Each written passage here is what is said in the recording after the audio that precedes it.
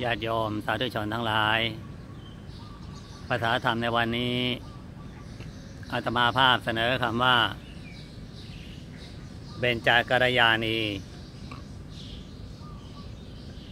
คำว่า เบญจากรยานี แปลว่าผู้มีความงามห้าประการ เบญจากรยานีหมายถึงสตรีที่มีสุภลักษณ์หรือว่าลักษณะที่ งดงามห้าประการด้วยกัน อันนั้นก็คือในประการแรก ผมงาม คือมีผมเหมือนกับ กำหางนกยูงเมื่อสยายออกทิ้งตัวลง ถึงชายผ้า ในประการที่สอง เนื้องาม ในที่นี้ก็หมายถึงริมฝีปากแดง เหมือนลูกตำลึงสุก มีความ เรียบสนิทมิดชิดดีในประการที่สามคือฟันงาม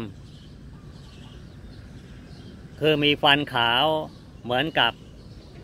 สังขัด มีความเรียบเสมอ เหมือนเพชรที่วางเรียงรายกันอยู่ ในประการที่สี่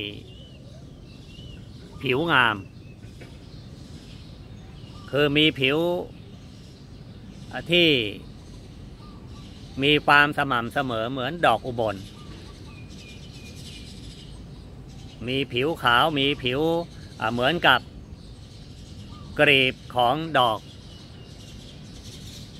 กานิกา ในประการที่ห้า วัยงาม ก็คืองามอยู่ทุกวัยไม่ว่าจะมีอายุอานามมากขึ้น แม้ว่าจะคลอดบทมาแล้วหลายคน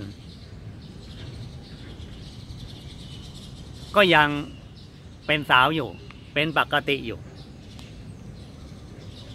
ถ้าพูดถึงคนมีลักษณะอย่างนี้ ในพระพุทธศาสนาท่านก็ พูดถึงนางวิสาขา มหาอุบาสิกาที่มีพร้อมสับใน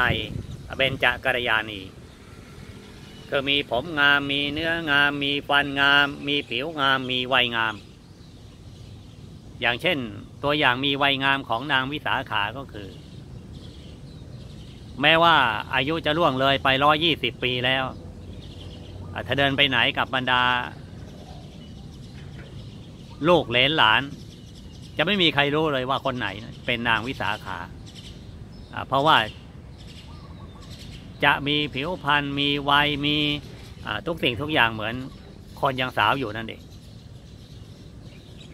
สิ่งเหล่านี้ก็ได้มาด้วยบุญกุศลนั่นเองที่สุดแล้วคนเราก็จะต้องทำความดีทำความดีแล้วจิตใจก็ดีทำบุญกุศลแล้วจิตใจก็มีความปิติ ก็มีจิตใจงาม การทำบุญก็ส่งผลให้ได้เบญจกัลยาณีทายาทโยมสาธุชนต้องการจะให้เป็นอย่างนี้ ต้องการอยากจะให้มีผมงาม เนื้องาม ฟันงาม ผิวงาม วัยงาม ก็ทำบุญข้างใดก็อธิษฐานเอา ว่าขอให้เป็นอย่างนั้นอย่างนี้ เพราะว่า เมื่อปรารถนาแล้วทำบุญแล้วก็ปรารถนาเอา อธิษฐานเอา ก็จะได้ตามที่ตนเองต้องการ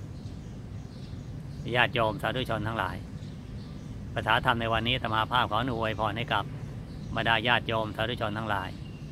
จะมีความสุขมีความเจริญในทั่วหน้ากันเทินเจริญพร